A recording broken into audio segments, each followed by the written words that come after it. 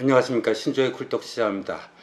오늘 그 정치면에 있는 기사 중에서 가장 많은 에, 관심을 모으고 있는 게 문재인 대통령 부부가 양산 기존 양산 매곡동에 문재인 대통령의 사저가 있는데 퇴임 후에 원래는 거기로 돌아갈 것이라고 다들 알려져 왔고 문 대통령 본인도 수차례에 걸쳐서 원래 살던 양산집으로 돌아갈 것이다 이런 얘기를 했는데 거기서 한 4km 떨어진 곳에 지금의 양산 매곡동 사저보다도 아, 두배 정도 넓은 어, 공간 음, 부지를 마련했다 하는 기사가 실렸습니다.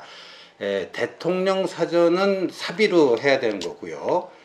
그리고 그 옆에 전직 대통령 경호하는 그 경호 시설 그 거기 이제 경호 동도 지어야 되고 그거 관련된 거는 국비로 국가 예산으로 합니다. 근데 문 대통령 부부가 지난 4월 말 5월 6일 5월 4일자로 어, 소유권 이전이 된 것으로 등기부 등본상 확인이 되는데요.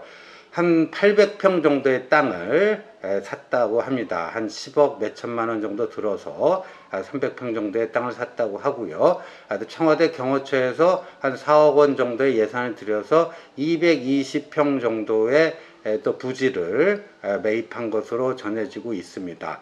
그래서 기존의 양산 매곡동 사저가 있는데 왜 굳이 여기다 또 새로운 사저 부지를 매입했는가? 당연히 이런 질문이 안 갈 수가 없겠죠. 거기에 대해서 오늘 청와대 대변인, 대변인이 얘기한 것을 보면요.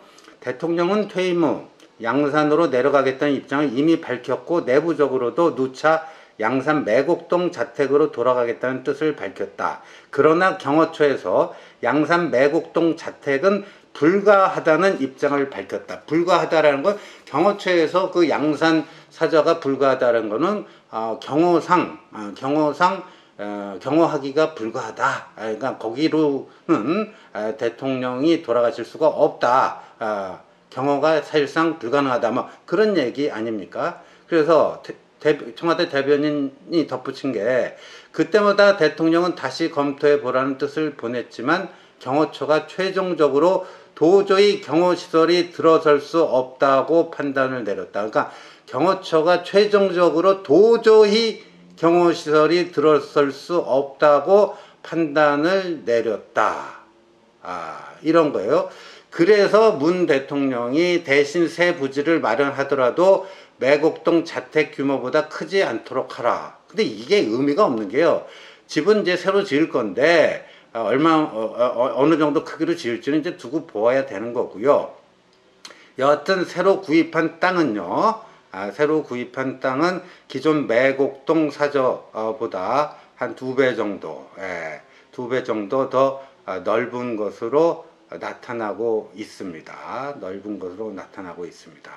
그러면 뭐 땅 넓은 거 산 거 갖고 뭐 이렇게 시비를 너무 걸 수는 없겠죠. 예, 그런데 문제는 여기에 정말 청와대 경호처에서 판단한 것처럼 도저히 경호시설이 들어설 수 없는 그런 공간이었던가 한번 따져보면요. 문 대통령이요. 본인 그 자서전 운명에서 아, 이렇게 얘기를 했습니다. 그 지금 양산 매곡동에 있는 사저 거기 2008년부터 어, 거기를 이제 쓰고 있는데 자서전에서 이렇게 얘기했어요. 스스로를 유배 보내는 심정으로 택했다. 아, 그러니까 굉장히 외진 곳이긴 맞습니다. 아, 외진 곳인 에, 곳은 아, 맞, 음, 맞습니다. 에, 그래서 예, 지금 이제 나오는 얘기가요. 그 매곡동 사저는 사저 주변에 여유 부지가 없다. 사저 주변에. 그러니까 경호동, 경호원들이 묵는 시설, 경호동을 만들려면 사전에 그 옆에, 바로 옆에 부지가 있어서 그 부지를 구입을 해서 거기다 어, 건물을 지어야 되는데 매곡동 사저 주변엔 여유 부지가 없다. 그래서 경호동 신축이 사실상 불가능하다. 이게 첫 번째고요. 두 번째는 계곡, 그 옆에 계곡 지형에 숲이 우거져 있다는 점도 경호에 불리하다. 아, 그러니까 뭔가 그런 곳은 이제 경호원들의 어떤 그 뭐예요? 경호 시선이 에, 가더라도 뭐 거기서 무슨 일이 이, 이 루어지고 있는지 숲이 울창한 곳이고 뭐 계곡이 있고 그러면요 어, 경호하는데 유, 어, 여러 가지로 불리하다.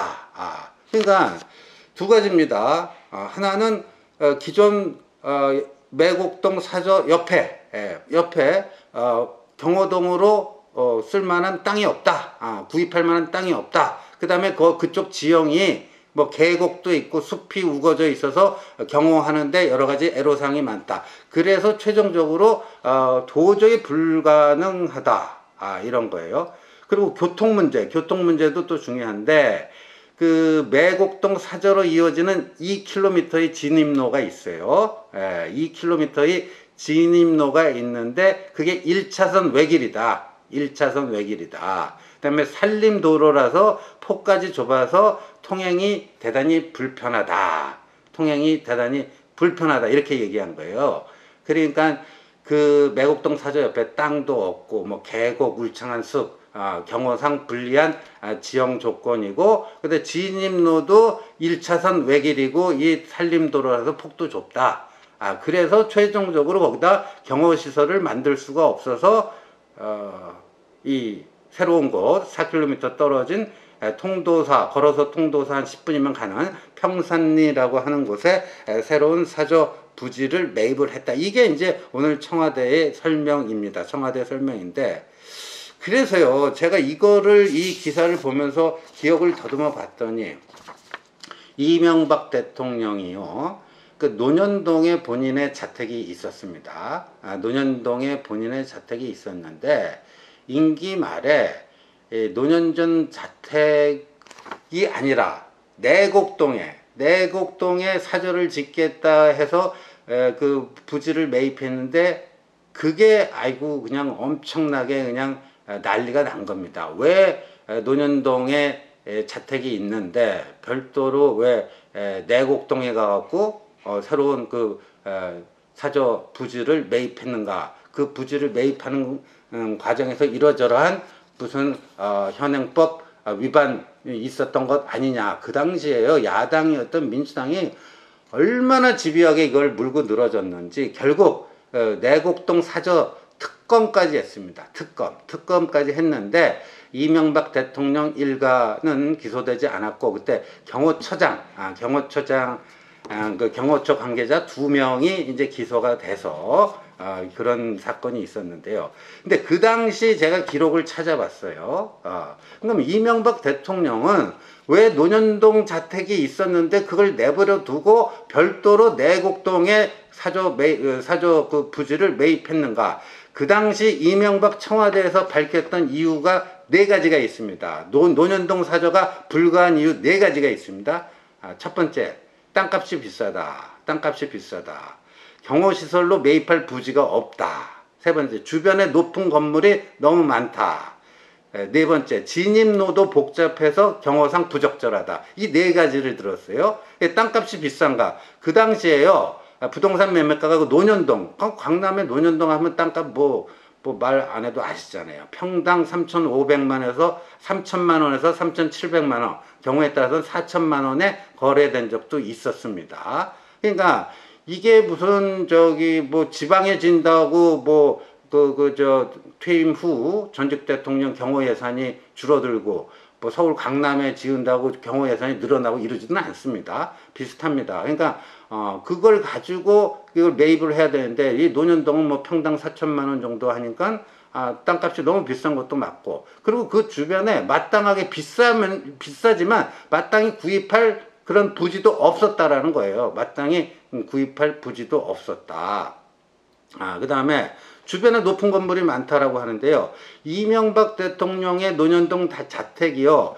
3층 높이의 단독주택입니다. 3, 3층 높이의 단독주택인데 주변에 3, 4층 건물이 질비했다라는 거예요. 그러니까 그 주변에 3, 4층 건물에서 보면요. 이 이명박 대통령 그 1, 1층에서부터 3층까지 앞마당이 훤히 다 들여다 보인다. 다 훤히 다 들여다 보인다. 이거는요, 경호상 상당히 안 좋은 것이죠. 예를 들어서 뭐 거기에 누군가 뭐 자객이나 뭐 sniper가 뭐 해서 얼마든지 뭐 그 맘만 먹으면 어, 전직 대통령의 위해를 아, 가할 수가 이, 있는 아, 그런 지형 조건입니다. 아, 그래서 주변에 에, 높은 건물이 너무 많다. 근데 진입로도 복잡하다. 아, 이런 거요. 그렇다면은 그렇다면은 따져보자고요. 지금 문재인 대통령의 양산 매곡동 사저와 아, 이명박 대통령의 논현동 사저 어느 쪽이 경험하기가 조금 더 나을 것인가? 저는요. 이걸 비교해 봤을 때 이명박 논현동 사저가 경호상에 훨씬 더 어려움이 많았다라고 보여집니다. 예. 이 지금 에, 그 청와대 쪽에서 흘러나오는 얘기에 따르면 그 양산 매곡동 사저는 어, 그 땅이 땅이 없다. 아 그 다음에 뭐 그 계곡이 있고 뭐 숲이 울창해 가지고 어 경호 어 상 불리한 지형 조건이다. 근데 진입로가 1차선 외길이어서 그렇다. 그런데 그렇게 따지고 보면요. 논현동 그 MB 사저 옆에는 그냥 3, 4층짜리 건물이 즐비하잖아요. 예. 즐비하잖아요. 어. 그리고 여기가 뭐 외길이래지만 이거 여기 저 논현동 여기도요 얼마나 여기가 그 교통량이 많습니까? 그러니까 이 객관적으로 봤을 때 에, 양산 매곡동 사저는 MB 논현동 사저보다 어, 경호하기에 조금 더 나은 조건이었다. 근데 그 당시 민주당은 왜 논현동 자택 멀쩡한 논현동 자택 놔두고 내곡동에 새로운 부지를 매입했느냐 아, 이렇게 굉장히 따져 물었습니다. 근데 재밌는 건요. 올 초에 그 신년 기자회견을 올 1월에 신년 기자회견을 했는데 그때 문재인 대통령이 이런 얘기를 했습니다. 저는 대통령 이유는 생각하지 않는다. 일단 대통령을 하고 임기가 끝나면 그냥 잊혀진 사람으로 돌아가고 싶다. 그냥 잊혀진 사람으로 돌아가고 싶다. 에. 임기를 마친 이후에 현실 정치와 계속 연관을 가지거나 그런 것을 일치하고 싶지 않다. 대통령 하는 동안 전력을 다하고 끝나고 나면 잊혀진 사람으로 그렇게 돌아가고 싶다. 이렇게 얘기를 했어요. 그런데 그 2008년에 그 양산 매곡동 사저여 구입할 때 그 자서전 운명에 보면 문재인 대통령이 이렇게 썼어요. 세상과 거리를 두면서 조용하게 살고 싶어서 매곡동 거기를 골랐다.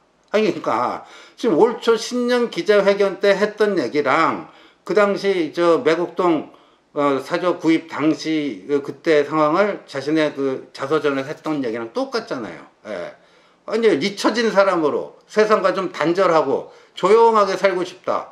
아 그런데 무슨 뭐 저기 진입로가 1차선이래 갖고 뭐 불편하고 뭐가 불편하고 아니 거기 많은 사람들이 들락달락 할 거 아니라면은 퇴임 후 문재인 대통령 사저에 많은 사람이 들락달락 할 거 아니라면은 그 진입로가 1차선인 게 왜 그렇게 문제가 되느냐 아, 그런 거죠. 그 문재인 대통령이 세상과 잊혀진 사람은 세상과 단절해갖고 조용하게 살고 싶다 했는데 그 계곡이 있고 숲이 울창한 게 경호상 뭐 이게 불리한 뭐다 또 이렇게 얘기를 하고요.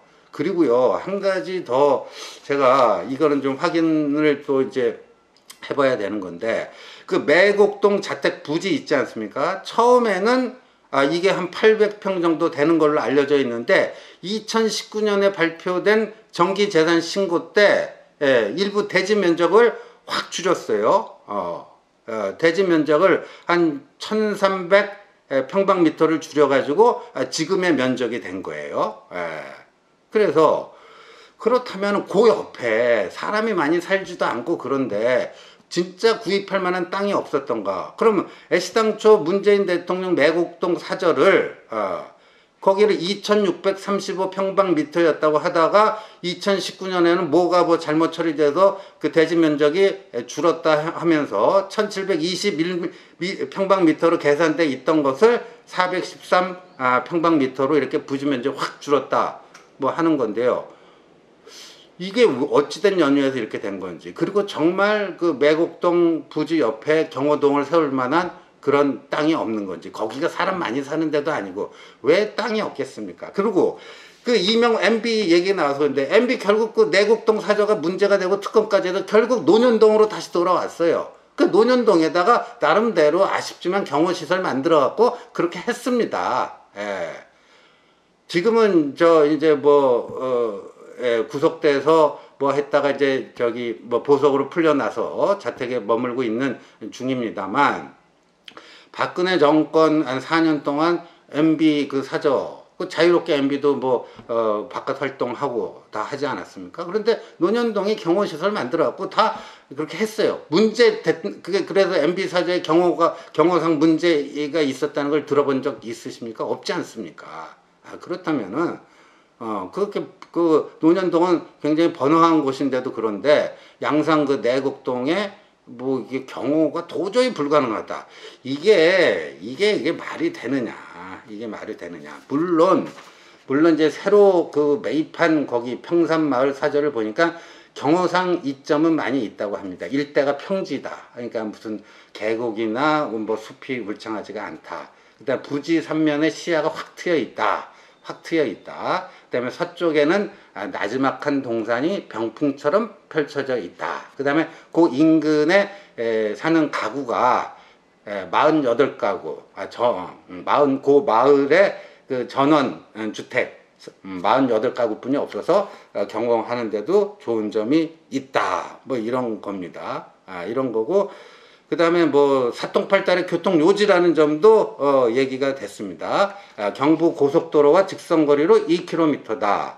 통도사 고속도로 진출 입력 아이스 통도사 IC, IC까지 차로 10분이 채 안 걸린다. KTX 울산역까지는 차로 20분이고 어, 김해 국제공항까지는 40분이면 충분하다. 차를 타고 노무현 어, 음, 대통령 사저가 있는 봉화마을까지는 50분이다. 아니 잊혀져서 조용히 살겠다는데 왜 이렇게 교통 어, 이 팔달 어, 사통 팔달의 교통 요지에다가 이런 거를 만들었는가? 아, 참 에, 이해할 수가 없습니다. 그러니까 경호상의 문제로 새로운 사저 부지를 매입할 수밖에 없다라고 하는 오늘 청와대의 주장은 과거 어, 이명박 대통령의 논현동 사저와 비교해 봤을 때 상당히 설득력이 떨어지는 이런 설명일 수밖에 없다. 이런 생각이 듭니다. 시청해 주셔서 감사합니다.